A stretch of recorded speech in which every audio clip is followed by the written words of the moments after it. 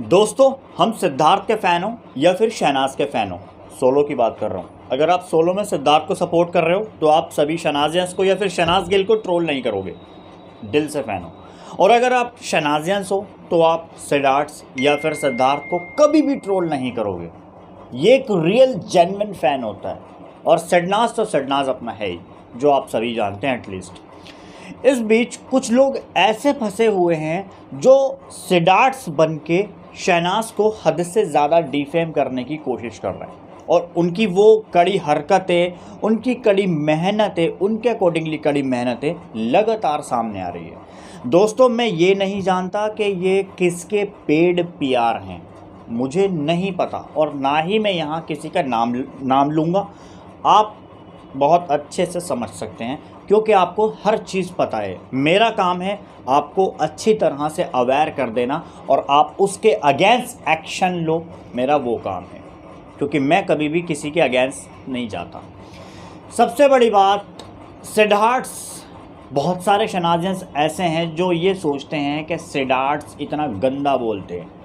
मैंने बहुत सारे सिडार्ट्स को देखा यार, जो काफ़ी अच्छी अच्छी लैंग्वेज यूज़ करते हैं अच्छे अच्छे कमेंट्स देते हैं, शहनाज को सपोर्ट करते हैं। मैंने बहुत सारे सिडार्ट्स ऐसे देखे हैं, मगर उसमें से कुछ सिडार्ट्स मैंने ऐसे भी देखे हैं जो शनाज को ट्रोल करते हैं। और हमेशा मैं ऐसे लोगों को फ़ैन कहता ही नहीं। दरअसल वो सिडार्ट्स नहीं, वो शमशान घाट हैं। उनके अंदर पता नहीं कितने मुर्दे, कितनी बॉडियाँ पता नहीं कितने ज़्यादा समाये हुए हैं जिसकी कोई भी लिमिट नहीं। इसलिए वो सिडार्ट्स नहीं, वो शमशान घाट हैं।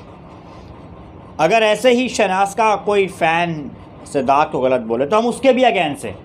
कोई भी हो, गलत बोलने वाले के हम तो भाई सीधी सी बातें अगेंस्ट हैं।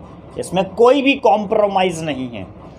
क्योंकि आपका कोई हक नहीं बनता। आप किसी को बिना वजह, बिना कुछ सोचे समझे, बिना कुछ गलत बात देखे या फिर सुने, आप उसको ट्रोल करोगे।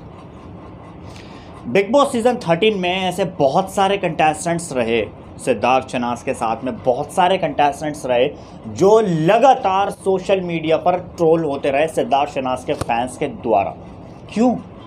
इसका रीज़न बड़ा था। और रीज़न बड़ा ये था कि उन्होंने गलत काम, यानी कि गलत हरकतें दूसरों के बारे में भड़ास निकालने, जो हमारी सपोर्टिंग के आइडल हैं, उनको गलत, यानी कि बुरा भला कहा था। इस वजह से हमने उनको ट्रोल किया। और अगर बिना किसी मेथड के ट्रोल किया जाए तो यहाँ पर कतई बर्दाश्त नहीं किया जाएगा। जिस अकॉर्डिंगली इनकी हरकतें, इनके सारे सिचुएशंस जिस जिस अकॉर्डिंगली ये लोगों को बुरा भला कहते हैं, ये सिद्धार्थ शनास को ही नहीं, ये औरों को भी बुरा भला कहते हैं। बल्कि ये सिडार्ट्स बन के शहनाज गिल को ट्रोल कर रहे हैं तो इसका मतलब ये है शहनाज को ट्रोल नहीं कर रहा है वो सिद्धार्थ शुक्ला के फेस को डिफेम करने की कोशिश कर रहा है। यानी कि आज सिद्धार्थ शुक्ला का नाम इतना ज़्यादा सर चढ़कर बोल रहा है। जैसा कि आप जानते ही हैं, सिद्धार्थ शुक्ला सोशल मीडिया पर ना कुछ करते हुए भी ट्रेंड हो रहे हैं, क्योंकि उनकी broken but beautiful three series ने धमाल मचा दिया। इस वजह से सिद्धार्थ शुक्ला का ज़्यादा नाम चढ़ रहा है।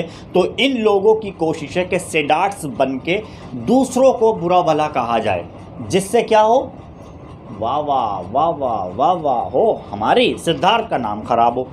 तो इनका मकसद, इनकी प्लानिंग सिर्फ़ और सिर्फ़ यही है कि सिद्धार्थ शुक्ला का नाम ख़राब ही करना। बाकी इसके अलावा मैं आपको एक स्क्रीनशॉट और दिखा देना चाहूँगा।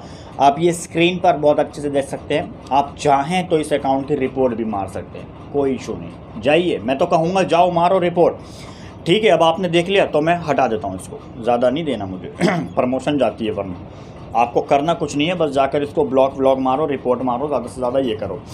अगर आप इसकी प्रोफ़ाइल में जाकर देखेंगे अगर आप इसकी प्रोफ़ाइल में जाकर देखेंगे, वहाँ पर शहनाज गिल के लिए पोल हुई हुई है।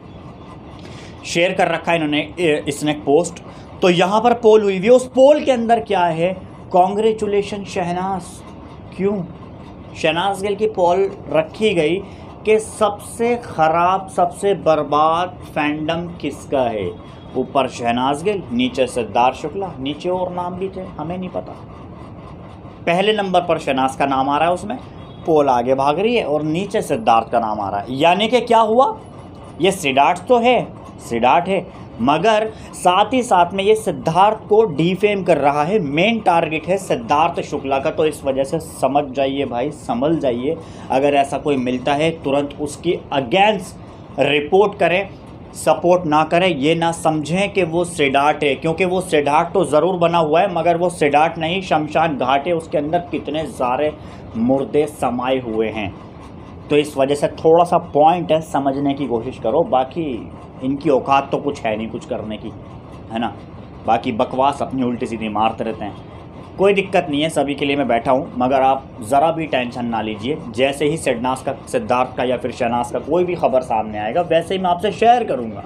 मगर प्लीज़ टेंशन में ना आइए और हेटर्स की बोलती बंद, क्योंकि हेटर्स इस टाइम सारे शमशान घाट पर पहुँचने वाले हैं। या हो सकता है कुछ कब्रिस्तान भी पहुँच जाए, कुछ शमशान घाट भी पहुँच जाए, क्योंकि इनकी औकात, इनकी वैल्यू ज़ीरो बटन लुल है। और इनकी ज़ीरो बटन लुल वैल्यू यूँ है कि इनको इनके फैमिली मेंबर्स ने घर से बाहर निकाला हुआ है। इनकी घर में इज़्ज़त नहीं है, दो करोड़े की इज़्ज़त है। इस वजह से बेचारे दर बुदर दर बुदर भटक रहते हैं, अनाथ आश्रम के अंदर जाकर बैठ जाते हैं। वो दे दो भाई, कुछ खाना दे ही दो, कुछ हो जाएगा, चल जाएगा। है? धंधा पानी तो इनसे करना आता नहीं है, बाकी वैसे ये अपना जगह जगह जाकर। अनाथ आश्रम के अंदर बैठ जाते हैं कि हाँ जी हाँ हम भी अनाथ हैं। तुम्हें शर्म नहीं आ रही बेवकूफ़ों? तुम्हें शर्म नहीं आ रही कि तुम अनाथ लोगों के साथ में जाकर अनाथ आश्रम के अंदर बैठे हो? हैं? थोड़ी सी तो शर्म कर लो कम से कम। तो इतना इनको सोचना, समझना चाहिए कि दूसरे को गलत कहने से पहले खुद का देखो, खुद का, कि तुम आगे फ्यूचर में क्या करोगे या फिर तुम्हारा पास्ट कैसा रहा, है ना?